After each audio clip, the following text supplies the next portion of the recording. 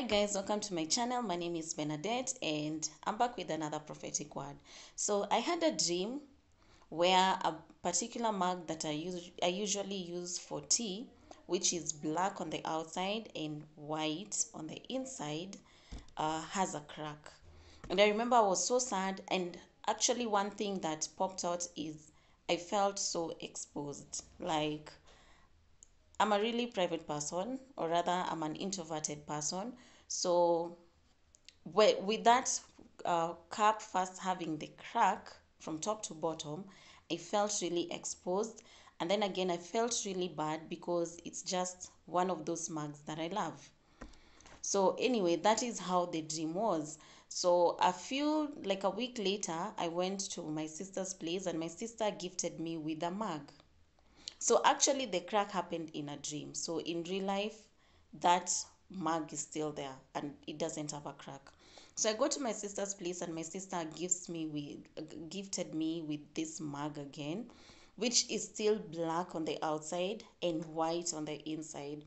But now with her mug, whenever you pour something hot inside, it displays or rather it changes colors on it changes color on the outside so that it can or rather it changes to white. So let me just show you. So this is the mug. You can see it's white on the inside and it's black on the outside. So whenever i pour something hot it changes to white. The outer part now becomes white and it's branded. So you'll see actually the writings of what it's branded so um, as I was just sitting with the Lord praying, the Lord took me back to that dream that I had because now I I use this mug like this has become my favorite. Even that one that I used to ha- to use it, it's no longer what I use anymore. So this is what I use at the moment. So God was just taking me through that dream because I was still trying to figure out what's the meaning of that dream. Why did I have a dream of a mug, my mug, my favorite mug, which has a crack, and then week later, a week later, my sister gives me with this same mug but different in terms of how it operates. And God was just telling me of how He's revealing His children to other people.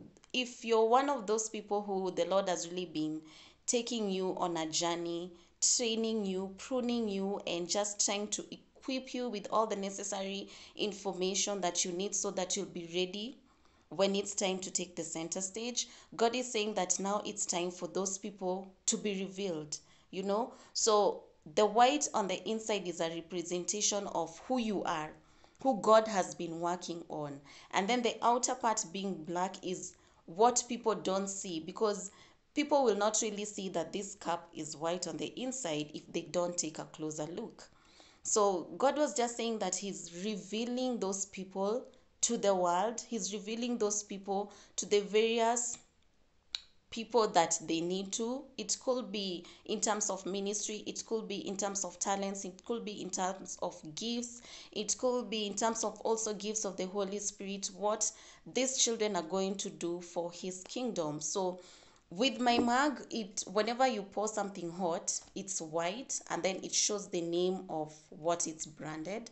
And God was also reminding me of how these people he's been able to call them by their name you know them by a particular name, but God chose a different name for them. For example, Abraham name was Abram changed to Abraham, and then Sarah's name was Sarai changed to Sarah. Same with Jacob was Israel.